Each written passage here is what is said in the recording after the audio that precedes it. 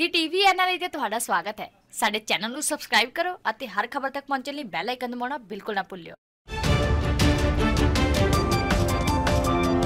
ਪੰਜਾਬ 'ਚ ਪਿਛਲੇ ਦਿਨੀ ਪਏ ਲਗਾਤਾਰ ਮੀਂਹ ਕਾਰਨ ਲੋਕਾਂ ਦੇ ਜਨਜੀਵਨ ਤੇ ਤੇ ਇਸ ਦਾ ਅਸਰ ਦੇਖਣ ਨੂੰ ਮਿਲਿਆ ਹੀ ਹੈ। ਉੱਥੇ ਕਿਸਾਨੀ ਤੇ ਵੀ ਇਸ ਦਾ ਬੁਰਾ ਅਸਰ ਦੇਖਣ ਨੂੰ ਮਿਲਿਆ ਹੈ। ਬੇਸ਼ੱਕ ਤਿੰਨ ਦਿਨ ਪਏ ਲਗਾਤਾਰ ਮੀਂਹ ਕਾਰਨ ਜਿੱਥੇ ਪੰਜਾਬ 'ਚ ਜ਼ਮੀਨ 'ਚ ਪਾਣੀ ਦਾ ਸਤਰ ਬਰਾਬਰ ਹੋਇਆ ਹੈ, ਉੱਥੇ ਕਿਸਾਨੀ ਤੇ ਵੀ ਇਸ ਦਾ ਅਸਰ ਦੇਖਣ ਨੂੰ ਮਿਲਿਆ ਹੈ। ਪੰਜਾਬ ਦੇ ਜ਼ਿਲ੍ਹਾ ਹੁਸ਼ਿਆਰਪੁਰ ਦੇ ਕੰਡੀ ਇਲਾਕੇ ਦੇ ਪਿੰਡ ਹਰਮੋਏ ਅਤੇ ਉਸ ਦੇ ਨਾਲ ਦੇ ਪਿੰਡ ਵੀ ਪ੍ਰਭਾਵਿਤ ਹੋਏ ਹਨ। ਭਾਰੀ ਮੀਂਹ ਪੈਣ ਕਾਰਨ ਹੋਏ ਨੁਕਸਾਨ ਦੀ ਭਰਪਾਈ ਲਈ ਕਿਸਾਨਾਂ ਨੇ ਸਰਕਾਰ ਤੋਂ ਮੁਆਵਜ਼ੇ ਦੀ ਮੰਗ ਕੀਤੀ ਹੈ। ਉਹਨਾਂ ਦਾ ਕਹਿਣਾ ਹੈ ਕਿ ਉਹਨਾਂ ਵੱਲੋਂ ਲਾਈ ਗਈ ਆਲੂ ਦੀ ਫਸਲ ਮੀਂਹ ਪੈਣ ਨਾਲ ਪੂਰੀ ਤਰ੍ਹਾਂ ਬਰਬਾਦ ਹੋ ਚੁੱਕੀ ਹੈ।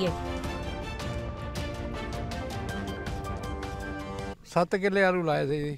ਮੀਂਹ ਦੇ ਨਾਲ ਸਾਰੇ ਰੁੜ ਗਏ ਉਹ। ਬਹੁਤ ਸਾਰਾ ਨੁਕਸਾਨ ਹੋ ਗਿਆ ਬਹੁਤ। ਖੇਤਾਂ 'ਚ ਟੋਏ ਪੈ ਗਏ ਬਹੁਤ ਜ਼ਿਆਦਾ। ਇਸ ਕਰਕੇ ਬਹੁਤ ਸਾ ਪਰੇਸ਼ਾਨੀ ਹੈ। ਖਰਚਾ 25 ਤੋਂ 30 ਹਜ਼ਾਰ ਤਾਈਂ ਖਰਚਾ ਆ ਜਾਂਦਾ ਕਿੱਲੇ ਦਾ। ਸਥਿਤੀ ਕੀ ਹੈ? ਬਿਲਕੁਲ ਸਾਫ਼ ਹੋ ਗਿਆ ਕੰਮ।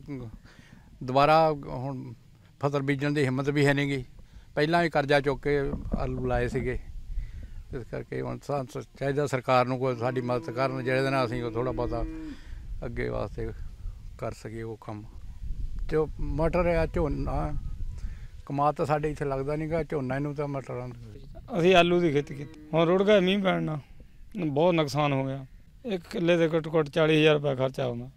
ਆਲੂ ਦੀ ਸਥਿਤੀ ਇਸ ਵੇਲੇ ਇਹ ਆਵੇ ਕੰਮ ਖਤਮ ਹੀ ਹੈ।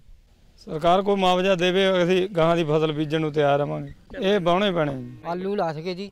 ਇਹਦਾ ਖਰਚਾ 40 ਤੋਂ 45 ਸਾਲ ਆ 45000 ਆਇਆ।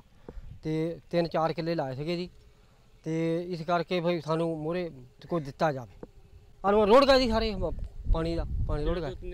ਹਾਂਜੀ ਮੀਂਹ ਤੇ ਚਾਰ ਦਿਨ ਮੀਂਹ ਪੈਂਦੇ ਨੇ ਹੋ ਗਿਆ ਜੀ। ਹਾਂ ਬਾਉਣੇ ਪੈਣੇ ਆ ਜੀ ਸਾਰਿਆਂ ਤੋਂ ਤੁਹਾਡੇ ਸਾਹਮਣੇ। ਹਾਂ ਨਵੇਂ ਫਸਲ ਤੇ ਬੀਜਣ ਨੇ ਇਹ ਬਾਉਣੇ ਪੈਣੇ ਆ ਜੀ। ਅਸੀਂ ਕਹਿੰਦੇ ਵੀ ਸਾਨੂੰ ਕੋਈ ਦਿੱਤਾ ਜਾਵੇ ਇਸ